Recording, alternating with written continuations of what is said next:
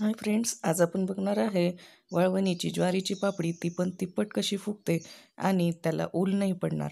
तर त्यासाठी दोन ग्लास ज्वारीचे पीठ घेतलेले आहे व्यवस्थित पाणी टाकून त्याला कालवून घेतलेले आहे. कुठेही त्यामध्ये गिटोळी नाही आहे. आणि दोन ग्लास ज्वारीच्या पिठासाठी आठ ग्लास पाणी घेतलेले आहे. ते एका मोठ्या गंजामध्ये उकळायला ठेवलेले आहे. त्याला छान उकळी येत असली त्याच टाईमला आपण त्यामध्ये चवीनुसार मीठ भरपूर अशी तीळ दोन टेबलस्पून जिरे. जिरे तुम्ही शेवटीसुद्धा घातले तरी चालते आणि आपण जे बॅटर बनवलेलं आहे ज्वारीच्या पिठाचं ते यामध्ये टाकून घ्यायचं आहे. ते टाकताना एक एका हाताने पळी हलवायची आहे आणि एका हाताने बॅटर आपल्याला त्यामध्ये सोडायचं आहे. हे करताना हळूवारपणे करायचं आहे कारण पाणी गरम आहे. हातावर उडण्याची शक्यता असते. त्यामुळे हे करताना थोडी काळजी घ्यायची आहे की आपल्या हातावर उडणार नाही आपल्याला कुठेही चटका बसणार नाही. या पद्धतीने मदतीला जर कोणी दुसरं लागत असेल तर एखादं दुसऱ्यांना घ्यायचं आणि त्यांच्या मदतीने आपण हे करायचं.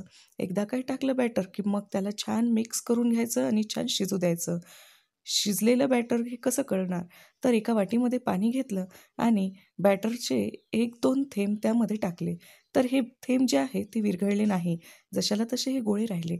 म्हणजे हे जे बॅटर आहे छान शिजलेलं आहे ज्वारीच्या पापडीचं आता हे व्यवस्थित थंड करून घेऊ. एकदम गरम गरम टाकायला गेलं तर कॅरीबॅग किंवा कपडा फाटू शकतो. त्यामुळे थोडंसं थंड करून घ्यायचं फॅन खाली आणि त्यानंतर या प्रकारे पळी पापड आपण टाकून घेणार आहोत. इथे तुम्ही बघू शकता आठ ग्लास ज्वारीच्या पिठामध्ये भरपूर असे ज्वारीचे पापड झालेले आहे. इथे आपण वाळवूनसुद्धा घेतलेले आहे. दोन ते तीन दिवस लागलेले आहेत वाळवायला.